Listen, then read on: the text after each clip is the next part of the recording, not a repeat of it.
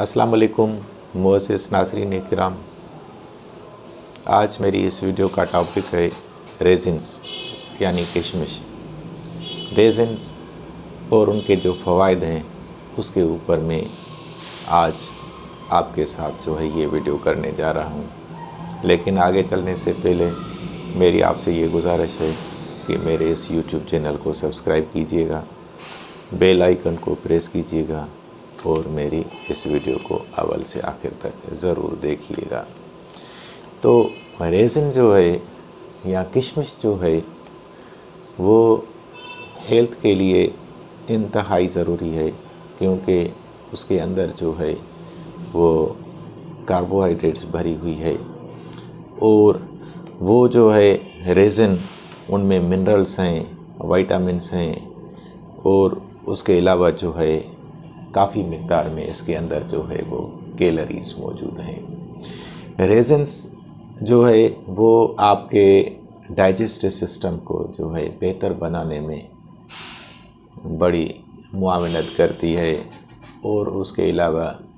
एक कब्ज़ कुशा एजेंट है ये। इसके खाने से जो देरीना कब्ज़ है, वो ख़त्म हो जाता है। रेज़न जो है, इसके अंदर जो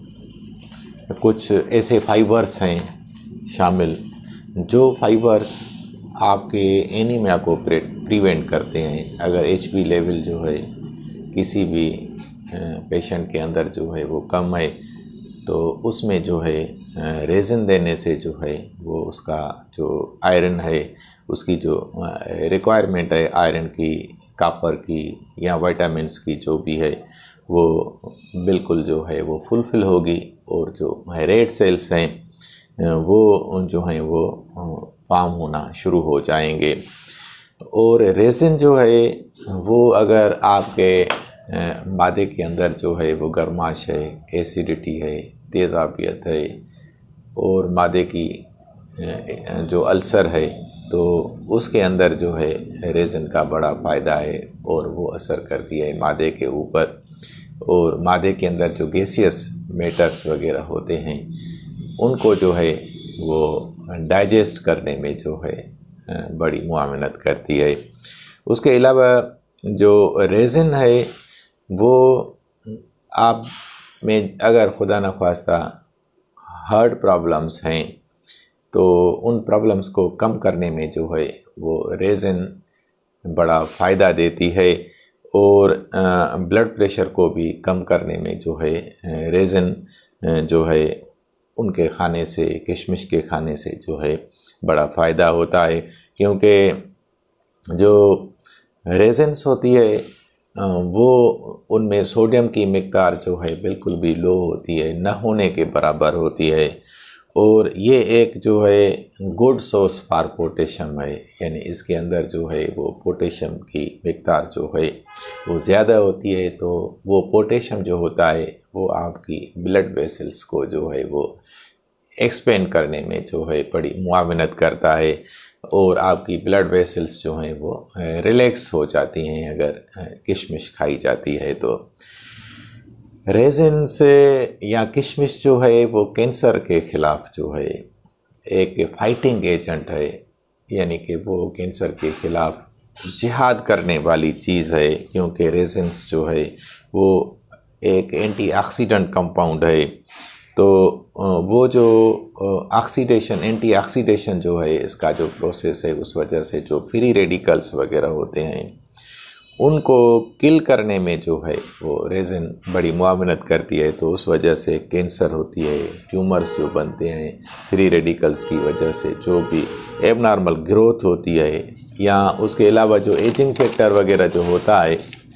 उसको रोकने में जो है वो रेज़न बड़ी मुआवनत करती है। रेज़न से आपकी आई हेल्थ के हिसाब से जो है बड़ी इफ़ेक्टिव है, क्योंकि रेजन्स के अंदर जो है पोलीफिनॉल्स एक कंपाउंड है,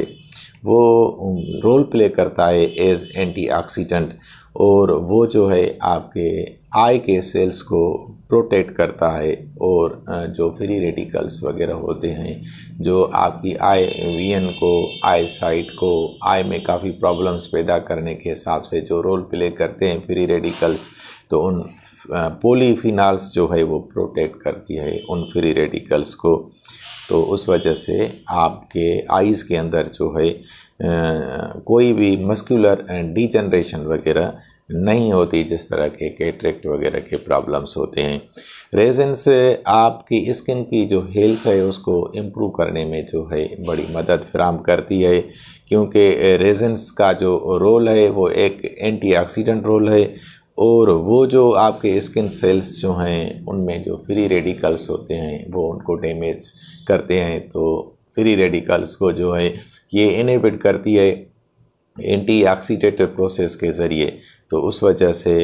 आपकी स्किन के अंदर जो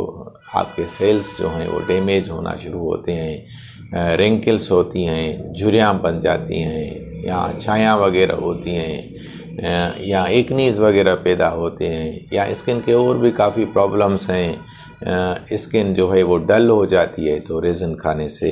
स्किन में शफाफियत जो है, वो पैदा होती है। और उसके अलावा रेज़न के अंदर जो है न्यूट्रेंट्स हैं विटामिन्स जिस तरह के विटामिन सी मौजूद है, सेलिनियम मौजूद है, जिंक मौजूद है, और ये जो जिंक है, सेलिनियम है या विटामिन सी जो है, ये स्किन के प्रॉब्लम्स जो भी पैदा होते हैं, स्किन के